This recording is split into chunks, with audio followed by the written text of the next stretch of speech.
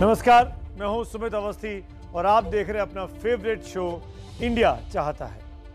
वो दोनों लौट आए हैं। वही दोनों जिनकी वजह से कोविड फैलता है। मैं बात कर रहा हूँ, कोरोना के एक नए वेरिएंट की। वो वापस आ गया है और वो भीड़ इस चुनावी मौसम में वापस दिखाई दे रही है, जो मार्च, अप्रैल के महीने में हमारी आँखों के सामने थी। एक वायरस है जो अब खुलकर हवाओं में घूम रहा है और भारत भी इसकी चपेट में आता जा रहा है। उसके तेवर बदलते हैं और इसके साथ ही उसका डर भी बढ़ता जाता है। वो कोरोना का वायरस है, जो अब ओमिक्रॉन के रूप में नए नाम से हमारे बीच में आ धमका है। आज इंडिया सबसे ज़्यादा यही जानना चाहता है कि ये ओमिक्रॉन वाला वेरिएंट कहीं कोरोना की तीसरी लहर तो लेकर नहीं आएगा, और ये डर इसलिए भी है कि बंगाल के बाद अब यूपी के चुनाव सर पर हैं पाँच राज्यों में चुनाव हो रहे हैं, रैलियाँ जमकर चल रही हैं तो 35 फ़ीसदी लोगों को इस बात का डर है कि कहीं यह तीसरी लहर की दस्तक तो नहीं। वही इंडिया ये भी जानना चाहता है कि आज अखिलेश यादव ने यूपी चुनाव जीतने के लिए झांसी की रानी वाला कौन सा नया दांव चल दिया है? तेईस फ़ीसदी लोग अखिलेश यादव के कैंपेन के बारे में और चीज़ें जानना चाहते हैं। वहीं इंडिया के दर्शक आज ये भी जानना चाहते हैं कि राकेश टिकैत किसानों को लाठी चलाना सिखा रहे हैं तो इसके पीछे टिकैत का इरादा क्या है? कभी ट्रैक्टर इकट्ठा करते हैं, कभी बैरिकेड तोड़ते हैं, अब लाठी हाथों में है। तो टिकैत के किसान चाहते क्या है? इसको करीब तेईस फ़ीसदी लोगों ने ही देखना चाहा है। तो बुलेटिन की शुरुआत करेंगे और सबसे पहले उसी खबर के बारे में बात करेंगे, जिसको आपने सबसे अधिक वोट देकर देखना चाहा है, यानी ओमिक्रॉन का बढ़ता खतरा। जानकारों के मुताबिक ये कोरोना के पुराने वेरिएंट से कहीं ज़्यादा खतरनाक हो सकता है। ये खतरनाक तब और हो सकता है जब रैलियों में बिना मास्क और बिना सामाजिक दूरी वाली भीड़ जुटने लगेगी। ये इसलिए भी सवाल उठ रहा है कि चुनाव के बीच रैलियाँ और रोड शो कहीं कोरोना की तीसरी लहर को तो निमंत्रण नहीं दे रहे हैं। ये इसलिए भी खतरा है कि कहीं तीसरी लहर आ गई इस वक्त में तो क्या उससे ज़्यादा खतरा होगा जो हमने दूसरी लहर के वक्त में मार्च और अप्रैल के महीने में देखा था? ओमिक्रॉन क्या डेल्टा से ज़्यादा खतरनाक है? इसीलिए इस खबर को सब देखना चाहते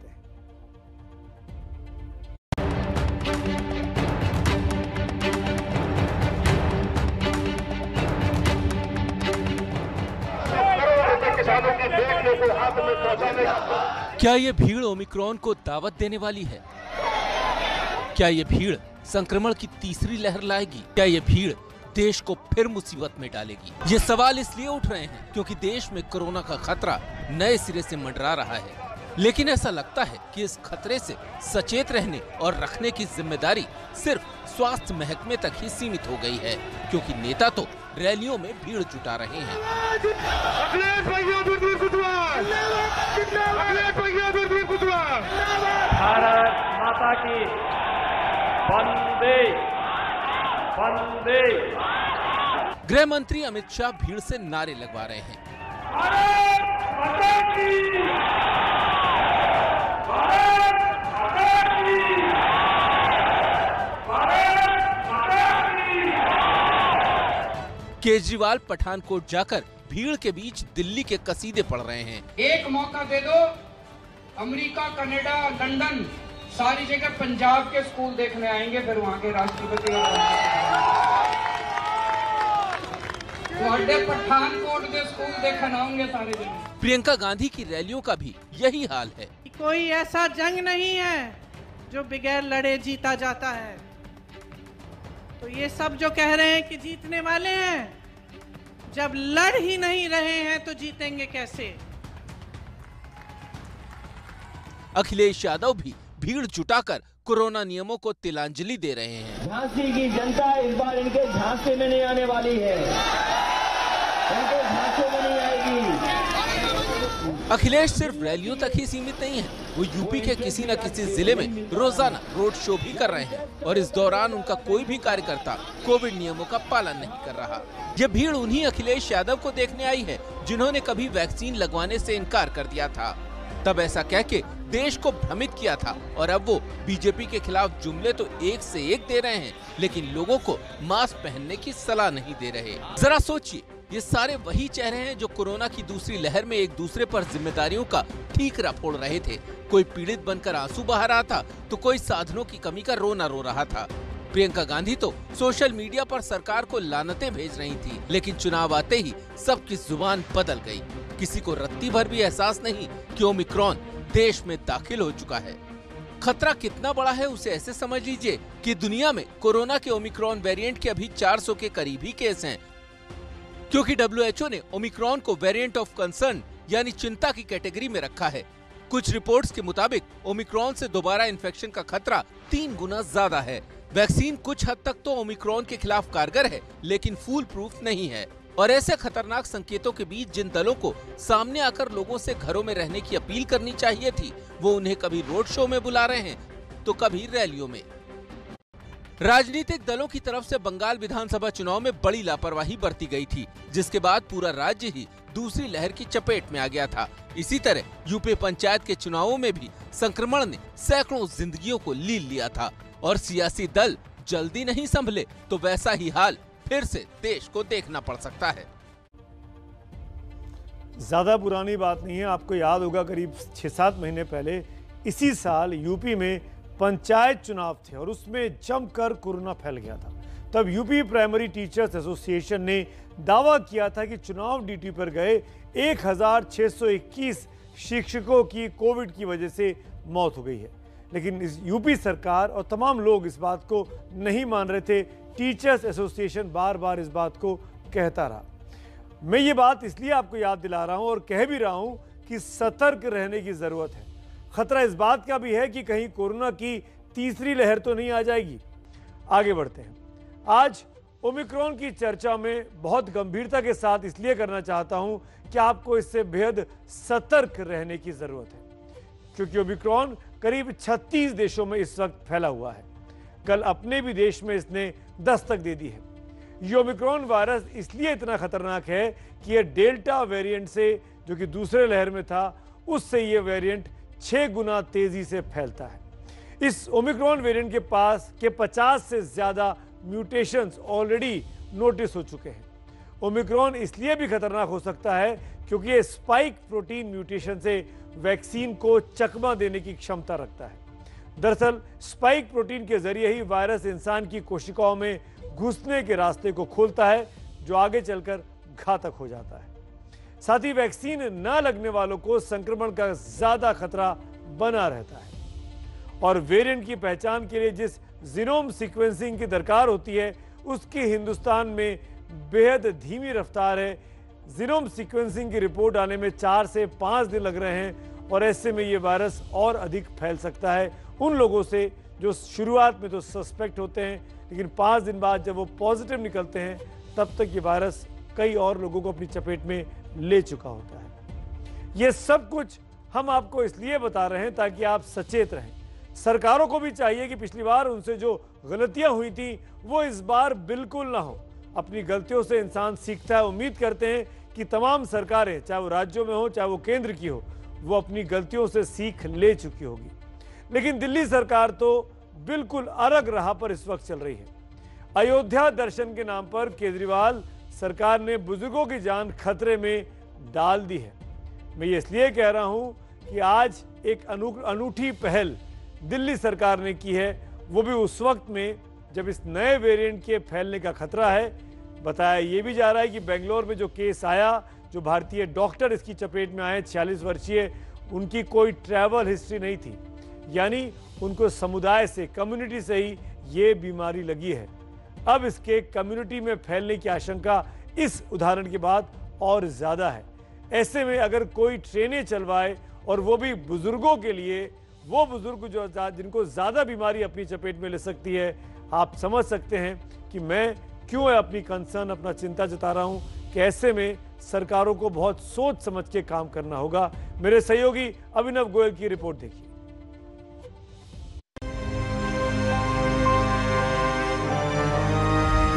सर, मैं आपसे हाथ जोड़ के प्रार्थना करता हूँ कि इस बढ़े हुए ऑक्सीजन के कोटे को दिल्ली तक पहुँचाने में हमारी मदद करें।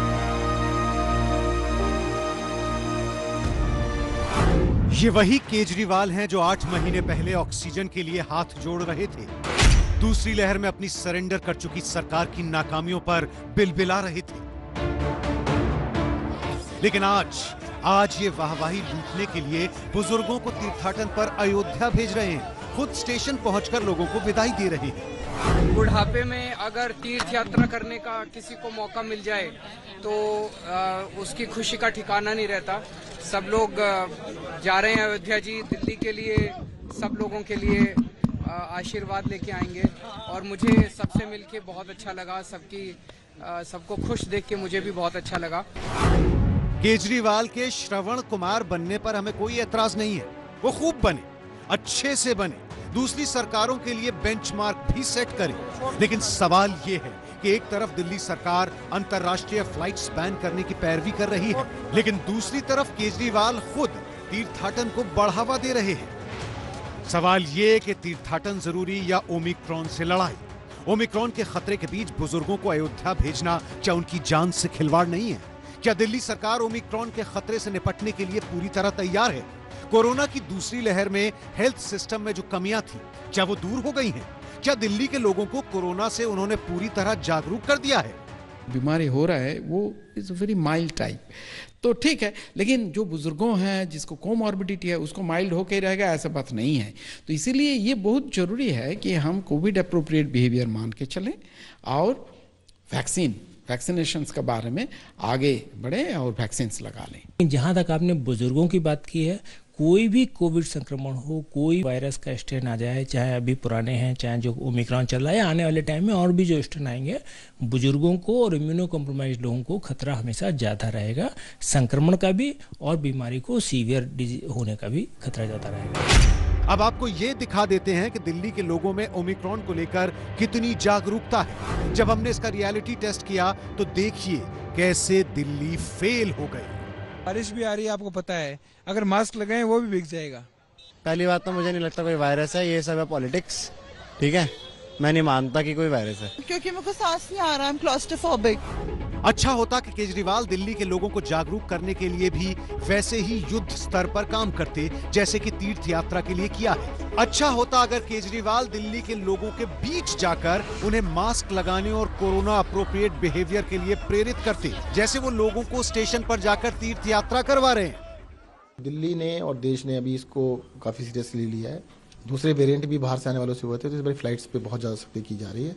जो भी अफेक्टेड कंट्रीज़ हैं, उनसे आने वाली फ्लाइट्स में सभी लोगों को एयरपोर्ट के ऊपर आर टी टेस्ट सबका किया जा रहा है। जब राम, भगवान श्री राम के मंदिर का निर्णय अदालत ने किया था तो कहा कि राम के मंदिर से इम्पोर्टेंट है कि देश में अस्पताल बने, निर्माण का काम हो, लोगों की भावना हो कि कोई बेकार की बातें हैं, भावना।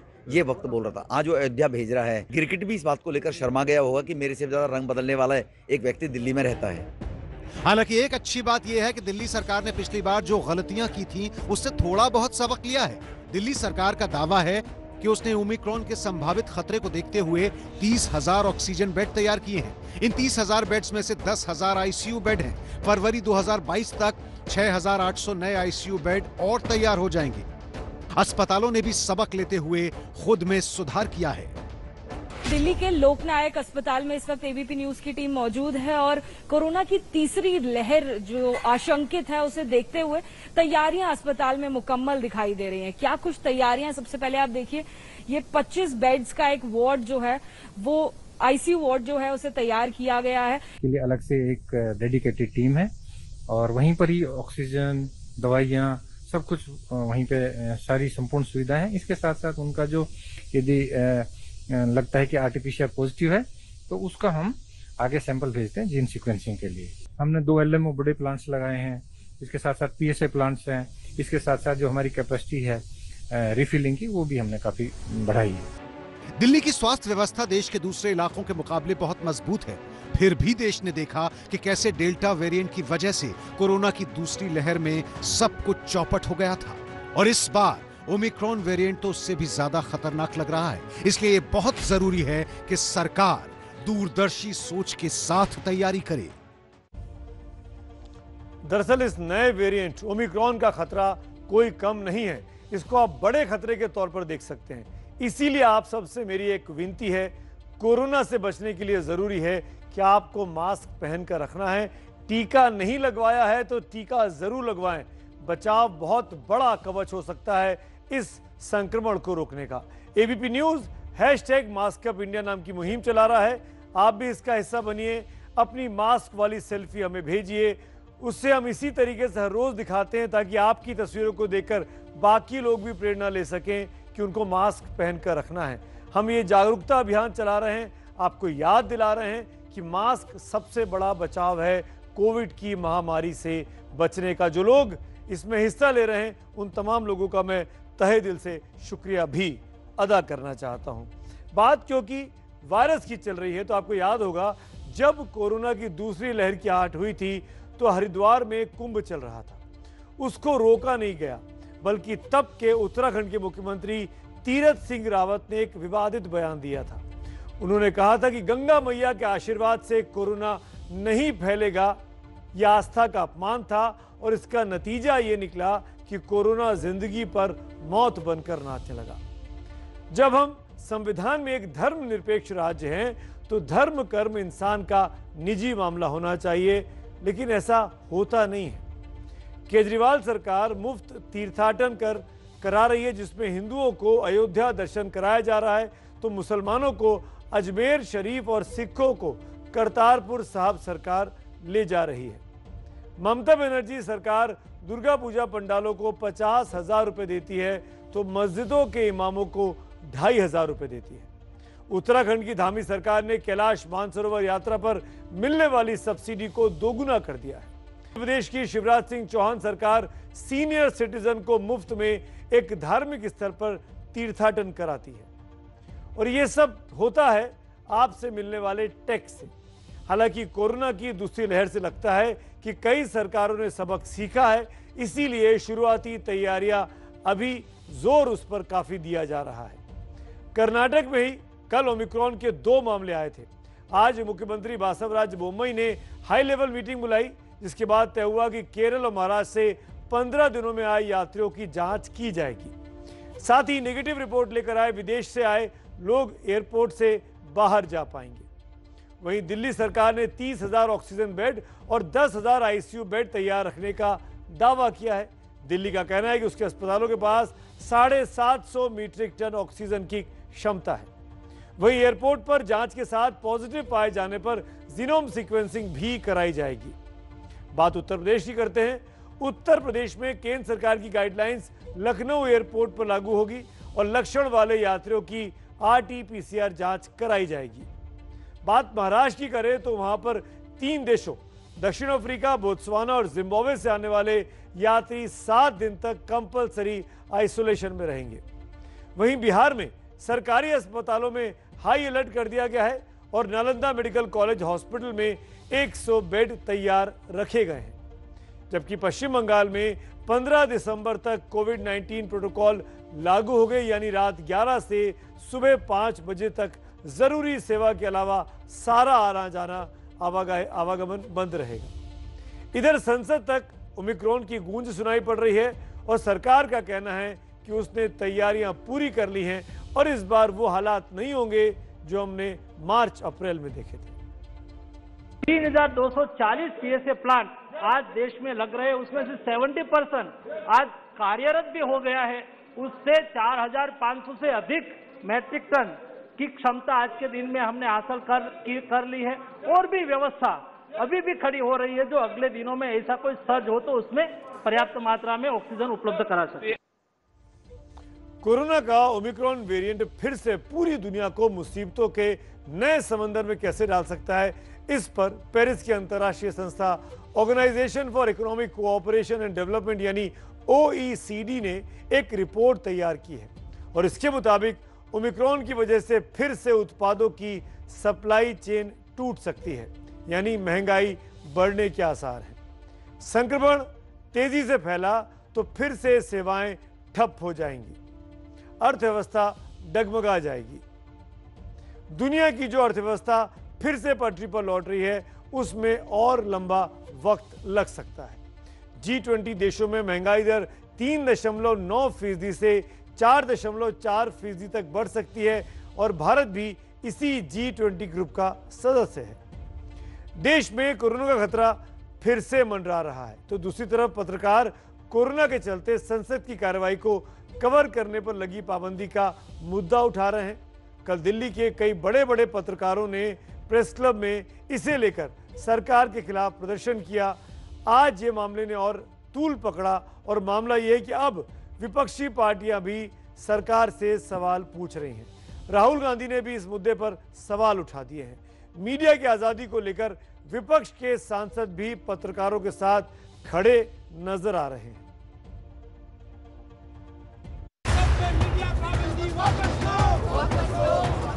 शायद ये सरकार को जर्नलिस्टों के ऊपर विश्वास नहीं अगर आप हम लोगों को नहीं अंदर जाने देंगे तो रिपोर्टिंग क्या होगी? सरकार हमसे छुपाना क्या चाह रही है? देश से छुपाना क्या चाह रही है? बोल की लब आज़ाद हैं तेरे। बोल जबां अब तक तेरी है। कुछ इसी तेवर के साथ पत्रकार ने सरकार के खिलाफ विरोध का बिगुल गुरुवार को फूका था। और आज पत्रकारों के साथ विपक्ष के नेता राहुल गांधी ने न सिर्फ़ अपने सुर जोड़ दिए बल्कि सरकार पर भी तीखा निशाना साधा। I think the press should have access certainly to parliament और वो शायद होगा भी नहीं। बट ये न्यू इंडिया है get used to it for a while पत्रकारों के संसद में प्रवेश की पाबंदी को लेकर सांसद भी सरकार को कटघरे में खड़ा कर रहे हैं। क्या चाहते हैं आप कि पत्रकार सही घटनाक्रम ना पकड़े? वो वहाँ के विमर्श को वो कैप्चर ना करें। मैं समझता हूँ कि इस तरह की प्रवृत्तियों को जो सरकार के अंदर है उससे बाहर आना चाहिए। जैसे पहले चल रहा था वैसा सारे जर्नलिस्ट को अंदर आने देना चाहिए यहाँ पे प्रेस कॉन्फ्रेंस करने की और बाइट्स देने की अनुमति देना चाहिए। और ये सरकार पता नहीं क्यों इतना डरती है। वो देश की जनता की आवाज़ प्रखरता से रखते हैं और सवाल पूछते हैं सरकार से हो या विपक्ष से हो उनको इस बहाने कोविड की आड़ में उनको पार्लियामेंट में एंट्री नहीं देना मैं मानती हूँ कि डेमोक्रेसी पे एक और बड़ा हमला कर रहे हैं। हम नहीं चाहिए क्योंकि जब सब कुछ नॉर्मल है पार्लियामेंट चल रहा है सीटिंग नॉर्मल है आ रहे हैं जा रहे हैं तो आप जर्नलिस्ट के लिए डिफ़िकल्ट क्यों कर रहे हैं? अरे ट्रांसपेरेंसी एंड इंफॉर्मेशन यही तो दो स्ट्रेंथ होते हैं डेमोक्रेसी के।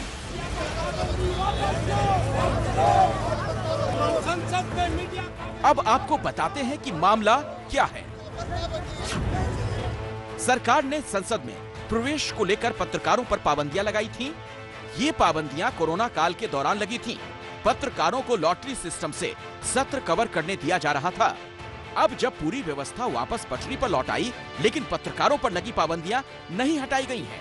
संसद में मीडिया पाबंदी वापस लो अगर उनको उनका काम नहीं करने दिया जाए तो मैनेजमेंट तो यही कहेगा कि भैया, आपको अगर रख के फ़ायदा क्या है, अगर आप इनको कवर ही नहीं कर सकते हो।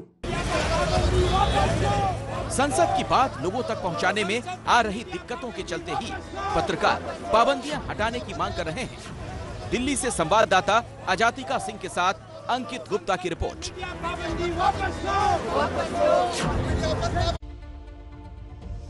दरअसल, कोविड के समय पर तमाम प्रतिबंध लगे। संसद के सत्र के टाइमिंग में बदलाव हुआ। दो सत्रों में संसद चलने लगी। उसी वक्त मीडिया पर भी प्रतिबंध लगे थे, क्योंकि भीड़ भाड़ से बचना था। ये प्रोटोकॉल का भी एक तरीके से, कोविड प्रोटोकॉल के लिए भी ज़रूरी था। लेकिन अब जबकि चीज़ें खुल गई हैं, बाज़ार खुल गए हैं, मंदिर खुल गए हैं चर्च खुल गई हैं मॉल खुल गई है, हवाई जहाज़ खुल गए हैं ट्रेन चल गई है पब चल रहे हैं डिस्को चल रहे हैं, पर संसद में पत्रकार अभी भी बहुत ही रिस्ट्रिक्टिव वे में जा सकते हैं, बहुत ही लिमिटेड वे में जा सकते हैं, जबकि तमाम पत्रकार जो संसद को कवर करते हैं, वो पीआईबी के द्वारा एक्रीडेट होते हैं। उन सबको कोविड की दोनों वैक्सीन लग चुकी होती है और वो देखकर भी उनको जाने की इजाज़त मिलनी चाहिए, लेकिन दरअसल ऐसा हुआ नहीं है। इसीलिए पत्रकार चाहते हैं कि संसद में, खासकर लोकसभा जो सचिवालय है, वो इस पर गंभीरता से विचार करे क्योंकि मीडिया की जो रिपोर्टिंग होनी चाहिए पार्लियामेंट से, वो बहुत ही लिमिटेड हो गई है, वो नहीं हो पा रही है। कैमरे के साथ अंदर नहीं जा सकते हैं, मोबाइल से फुटेज लेकर आप तक पहुँचाया जाता है, खासकर संसद भवन के परिसर का। मीडिया को लोकतंत्र का चौथा स्तंभ कहा जाता है, और लोकतंत्र तभी मज़बूत रह सकता है जब कलम पाबंदियों से आज़ाद हो। लेकिन इस मामले में भारत की स्थिति अच्छी नहीं कही जा सकती। प्रेस की फ्रीडम के मामले में भारत दुनिया के 180 देशों की सूची में 142वें नंबर पर आता है। आप देखिए कि 2015 और 16 में हालात सुधरे थे, लेकिन फिर बिगड़ने शुरू हो गए। इसे और भी सुधारने की इस वक्त ज़रूरत है। अखिलेश यादव की चुनावी रणनीति में आपको बताऊँगा, उससे पहले आज की लीड स्टोरी पर अपनी राय आपको बता देता हूँ। मेरी राय यह है कि तीसरी लहर के खतरे को देखते हुए दूसरी लहर वाली लापरवाही सरकारों से इस बार ओमिक्रॉन के आने के बाद नहीं होनी चाहिए। अगर आप मेरी इस राय से सहमत हैं तो mobile number seven eight two three nine double four double zero one पर मिस्ड कॉल दें। और असहमत हैं तो seven eight two three nine double four double zero two पर मिस कॉल दें। अभी तक छियासी फ़ीसदी लोग मेरी इस राय के साथ सहमत हैं। जिन हज़ारों ने मिस कॉल देने का कष्ट किया, उनका शुक्रिया। आपने अगर मिस कॉल नहीं दी है तो मुझे आपकी कॉल का इंतज़ार है। शो के आखिर में अपनी राय के नतीजे क्या हैं, वो भी आपको ज़रूर दिखाऊँगा कि कितने लोग सहमत हैं, कितने नहीं हैं। आगे बढ़ते हैं। समाजवादी पार्टी के अध्यक्ष अखिलेश यादव आज बुंदेलखंड के झांसी में थे, जहाँ पिछले चुनावों में इनकी साइकिल बुरी तरीके से पंक्चर हो गई थी। या कहिए कि पंचर पहिया साइकिल से निकल गया था। क्योंकि पूरे बुंदेलखंड जोन में समाजवादी पार्टी को एक भी सीट नहीं मिली थी। अब वहीं से अखिलेश यादव ने झांसी की रानी वाली रणनीति बनाई है। क्या है ये रणनीति? कामयाब होगी क्या? क्या अखिलेश यादव बुंदेलखंड में अपना दम दिखा पाएँगे? इसी को जानने के लिए मेरे सहयोगी अजय दुबे और रूबिका लियाकत ने एक साथ ये यात्रा को अखिलेश यादव के नज़र से भी देखा। और उन लोगों की नज़र से भी देखा जो इस यात्रा में आना चाहते थे। देखिए ये एक्सक्लूसिव रिपोर्ट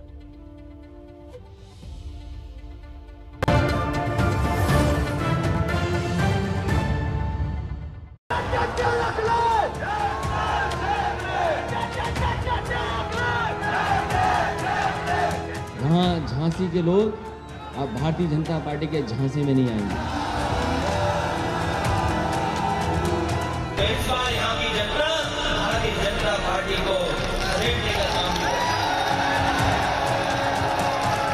भगवान को वही याद करता है जो तकलीफ़ और परेशानी में होता है। बुंदेलखंड में अपनी विजय यात्रा खत्म करने को अखिलेश के लिए झांसी की रानी के शहर से बढ़िया और क्या हो सकता था?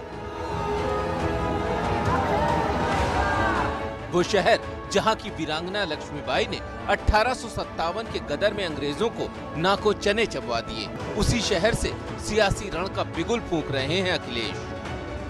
वो भी उन्हीं रानी लक्ष्मीबाई के ज़रिए, जो राष्ट्रवाद की सबसे बड़ी प्रतीक मानी जाती हैं। लक्ष्मीबाई, उन्होंने अंग्रेज़ों को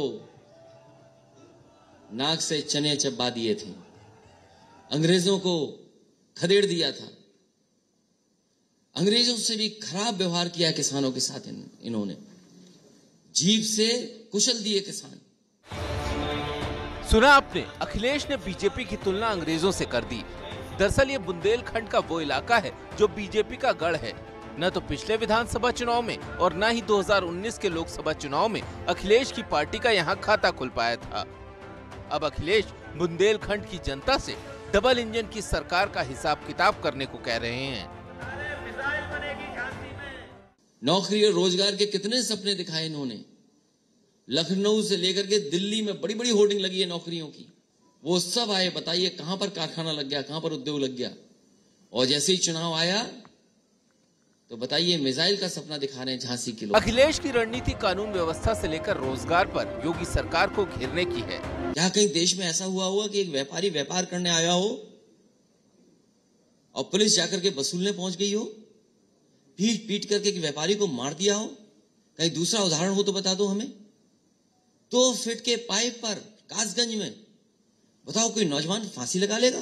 भारतीय जनता पार्टी मारो और डरा रही है, राज करो। एक तरफ़ बीजेपी यूपी में बेहतर कानून व्यवस्था का दावा कर रही है तो दूसरी तरफ़ गोरखपुर और कासगंज की घटना के ज़रिए अखिलेश उस दावे को न सिर्फ़ भोतरा साबित करने में लगे हैं, बल्कि यूपी पुलिस को ही कटघरे में खड़ा कर रहे हैं। चाहे कानून व्यवस्था की बात हो, खेती खलिहानी की समस्या रही हो या फिर कोरोना की समय की दिक्कतें, अखिलेश अपनी चुनावी सभाओं में बार बार इन्हीं विषयों पर बात कर रहे हैं। जिन्ना वाले बयान के बाद अखिलेश कोई भी ऐसी बात नहीं कर रहे हैं जिससे वोटों का ध्रुवीकरण हो। अखिलेश समझ चुके हैं कि अगर वोटों का ध्रुवीकरण हुआ तो इससे नुकसान उनके ही हिस्से आएगा। आज झांसी में जब अखिलेश रोड शो कर रहे थे तो उनकी काफ़ी व्यस्तता थी। लेकिन उस व्यस्तता में भी उन्होंने एबीपी न्यूज़ के लिए समय निकाला और अपना चुनावी राजनीति का रोड मैप सबके सामने रख दिया। मथुरा का मुद्दा बीजेपी ने आगे किया तो अखिलेश ने इसे पेट से जोड़ दिया। सवाल हिंदुत्व का नहीं है, सवाल रोजी रोटी का है, सवाल नौकरी का है, सवाल खुशहाली का है। उत्तर प्रदेश की जनता खुशहाली चाहती है। आज आस्था का सवाल नहीं है, सवाल ये है कि रोजी रोटी मिलेगी कि नहीं मिलेगी। आप उम्मीद करते हैं कि खाली पेट कैसे भजन होंगे? अखिलेश की रणनीति साफ़ है। वो बीजेपी के निशाने पर रहना चाहते हैं, ताकि जनता तक ये संदेश पहुँचा सके कि बीजेपी को कोई टक्कर दे रहा है तो वो समाजवादी पार्टी है। इसके पीछे उनकी रणनीति ये है कि मुस्लिम वोटों का बंटवारा न हो। सत्ता विरोधी हवा का फ़ायदा उन्हें मिले। कांग्रेस बीएसपी किनारे लग जाए। बीजेपी से दूरी बनाने वाली छोटी पार्टियों के पास सिर्फ़ उन्हें चुनने का विकल्प हो। सीधे मुकाबले में जीत की संभावना बढ़ जाए। अखिलेश यादव ने छोटे दलों को जोड़ने वाली अपनी रणनीति को एबीपी न्यूज़ के साथ साझा किया। अखिलेश ने एबीपी न्यूज़ को एक्सक्लूसिव जानकारी दी कि उनकी पार्टी का ओवैसी की पार्टी से कोई गठजोड़ नहीं होने जा रहा। उन्होंने भले ही आम आदमी पार्टी के नेता संजय सिंह के साथ तस्वीर खिंचवा ली, लेकिन सीटों पर कोई बात नहीं हुई। लेकिन आरएलडी को वो ज़रूर जोड़ना चाहते हैं। आरएलडी का अच्छी सीटें दे रहे हैं और जहाँ जीत सकते हैं, उन सीटों पे ज़रूर और विचार करेंगे हम लोग। आने वाले समय में सात तारीख को दोनों मिलकर के रैली भी कर रहे हैं। उत्तर प्रदेश चुनाव में चंद महीनों का वक्त बाकी है। अभी ऐसे कई आरोप प्रत्यारोप लगेंगे लेकिन चुनाव खत्म होने तक जो जनता के दिलों में जगह बनाने में कामयाब होगा वही यूपी पर राज करेगा। और अब बात किसानों की करते हैं। किसान भले ही अपने आंदोलन को गैर राजनीतिक कहें लेकिन बड़ा सच ये है कि किसान आंदोलन का सीधा असर चुनावी राजनीति पर पड़ रहा है। बीजेपी तो यह आरोप भी लगाती है कि कृषि कानून वापस लेने के बाद भी किसान आंदोलन को जारी रखने के पीछे वजह यूपी का चुनाव है। इस गर्मा गर्मी के बीच राकेश टिकैत एक नए रूप में अब सामने आ रहे हैं। गाजीपुर में टिकैत का लठैत अवतार देखने को मिला है और वो किसानों को लाठी चलाने की ट्रेनिंग दे रहे हैं। क्या है टिकैत का ये लाठी चलाने की ट्रेनिंग वाला दांव? क्या है इसके पीछे की वजह? यही जानने के लिए आपको देखनी होगी हमारी ये खास रिपोर्ट। आंदोलन का लठ गाड़ चुके हैं। साल भर पहले तंबू तान चुके हैं।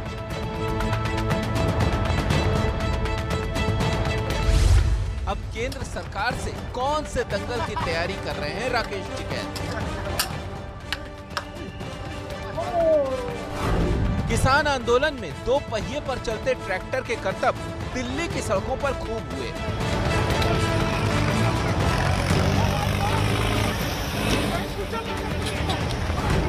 अब क्या आने वाली 26 तारीख को लाठी का हुनर भी दिखाने की तैयारी में है राकेश टिकैत? गाजीपुर बॉर्डर पर आंदोलन करते किसानों के बीच राकेश टिकैत दूसरे ही मूड में नज़र आए। सरकार से किसानों की मांगों के लिए दो दो हाथ करने के बाद टिकैत अपने साथियों के साथ लठ लेकर दो दो हाथ कर रहे हैं। राकेश टिकैत अपने साथियों को लाठी चलाने की ट्रेनिंग दे रहे हैं लेकिन इस ट्रेनिंग के पीछे की वजह क्या है? टिकैत जी ने जो लाठी चलाई है वो हमारे संस्कारों के प्रतीक हैं और लाठी तो हमारे कृषि खाद्य कार्यों में सब चीज़ में सपोर्ट करती है। लाठी हमारी पहचान है किसानों के हित के लिए लाठी है। राकेश जी ने उठाई है ठीक करा बहुत बढ़िया करा है। किसान का लाठी एक बहुत बड़ा हथियार है। लाठी के बगैर किसान चल नहीं पाता है। गाजीपुर बॉर्डर पर राकेश टिकैत की लाठी चलाने की ट्रेनिंग करते तस्वीरें बाहर आई तो बीजेपी ने इस पर सवाल खड़े कर दिए। बीजेपी सांसदों को शक है कि कहीं लाठी की ट्रेनिंग के पीछे हिंसा की तैयारी तो नहीं है। और टिकैत साहब की लाठी वाली पाठशाला के बाद अब आज की लीड स्टोरी पर मैं अपनी राय आपको बता देता हूँ। मेरी राय यह है कि तीसरी लहर के खतरे को देखते हुए दूसरी लहर वाली लापरवाही सरकारों से इस बार नहीं होनी चाहिए। आप भी अपनी राय हमको भेज सकते हैं। अभी तक छियासी फ़ीसदी लोग मेरी इस राय के साथ सहमत हैं। फ़िलहाल वक्त हो रहा है ब्रेक का। ब्रेक के बाद आपको दिखाएँगे फाइनल रिज़ल्ट भी इस पोल के और बात होगी। आज के शब्द की भी। आप देखते रहिए इंडिया चाहता है।